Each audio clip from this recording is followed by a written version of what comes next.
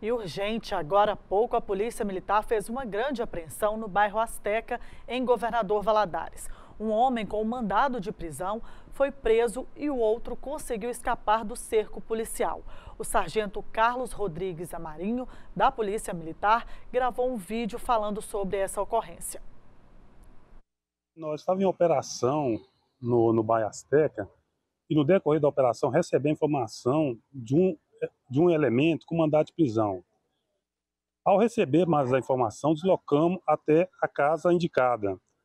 Chamamos, o mesmo nos atendeu e se entregou, é, informamos para ele sobre o mandato. Só, só que na, no momento que nós estávamos na casa, cumprindo esse mandado, esse mandado de prisão, um outro elemento da casa ao lado assustou com a presença policial, evadiu pelos fundos, saindo na rua de baixo.